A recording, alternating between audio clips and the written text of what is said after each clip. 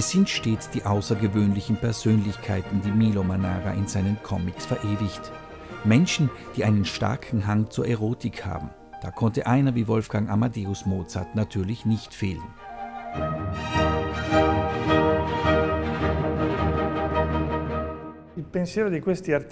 Große Künstler wie Raphael oder eben Mozart haben sich dermaßen von der Erotik inspirieren lassen. Sie waren beinahe besessen vom Eros und schöpften dadurch unvorstellbare Energien.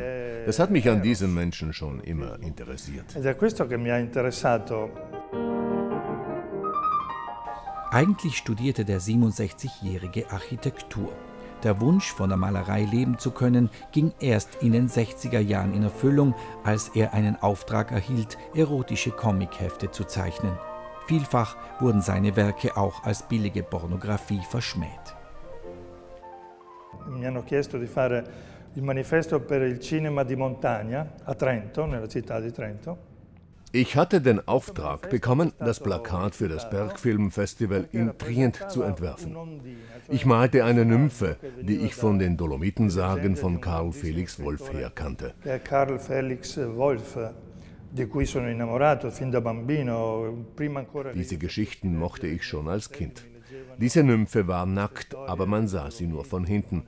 Das war den Veranstaltern schon zu viel und sie entzogen mir den Auftrag.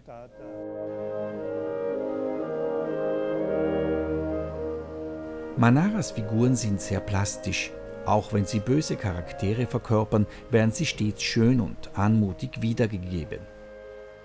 Tutto quello che deve rappresentare un personaggio disegnato se lo deve caricare addosso sull'aspetto. Alles, was eine Figur darstellen soll, entspricht ihrem Charakter.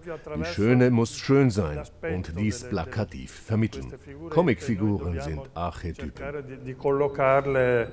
Ognuna nella propria dimensione.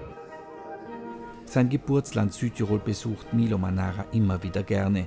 Dass auch Mozart auf seinen Italienreisen hier Halt gemacht hat, freut den Künstler besonders.